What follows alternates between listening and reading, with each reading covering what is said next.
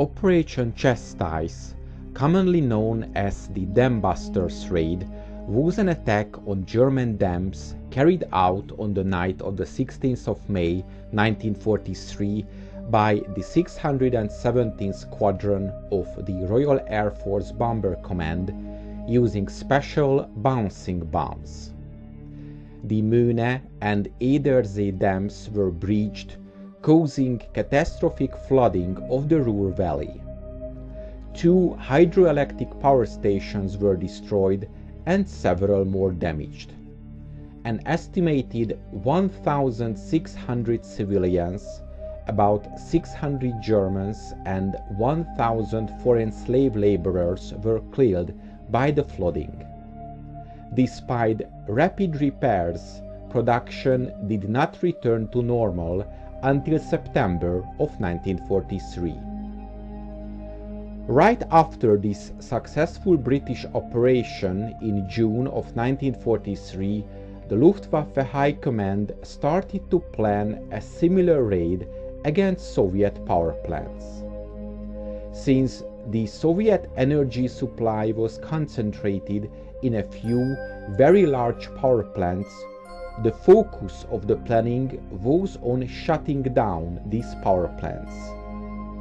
It was estimated that a power outage in the Moscow Upper Volga area alone would result in a production loss of 80% for tank engines, 60% for light tanks and motor vehicles, and 50% for electronic and optical equipment. So planned targets were 12 steam and hydroelectric power stations in the Moscow area. The most significant target of the operation was the large reservoir and hydroelectric power plant at Rybinsk. At the time of its construction, it was the second largest hydroelectric power station in the Soviet Union and one of the most powerful power plants in the world.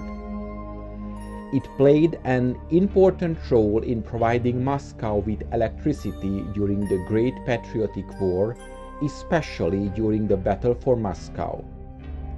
The construction of the station was carried out from 1935 mainly by the forces of prisoners of the Gulag camp system. Instead of a bouncing bomb, which Germany did not possess, the Luftwaffe planned to attack with the Fritz X remote-controlled bomb. The Fritz X was the world's first precision-guided weapon deployed in combat and the first to sink a ship in combat.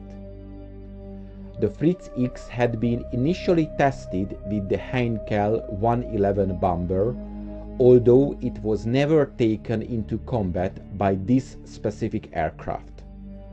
The Fritz X was first deployed in July of 1943 in a raid on a harbor in Sicily. If the Rybinsk Dam had been breached by the Fritz X, the catastrophic flooding would have hit the Soviet capital as well. From December of 1943, about 400 German bomber aircraft, mainly Heinkel 111s, were assembled under the general command of the 4th Flieger Corps or Air Corps. The 4th Flieger Corps received its orders directly from the Luftwaffe High Command and it was not subordinate to any German air fleet. But the operation was never carried out.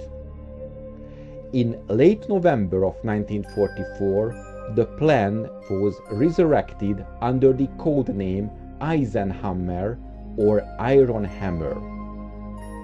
To accomplish the goal, Mistel long-range bombers were to be deployed.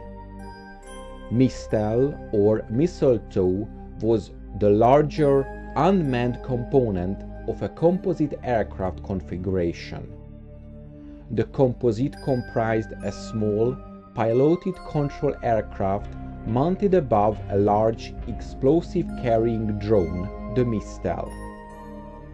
The most successful of these used the modification of a Junkers Ju-88 bomber as the Mistel, with the entire nose-located crew compartment replaced by a specially designed nose filled with a large load of explosives formed into a shaped charge.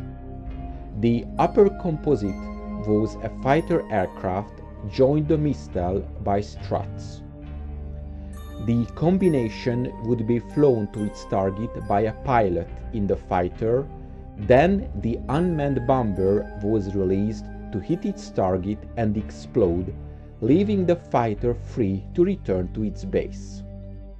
The first such composite aircraft flew in July of 1943 and was promising enough to begin a program by the Luftwaffe codenamed Beethoven eventually entering service in the middle of 1944.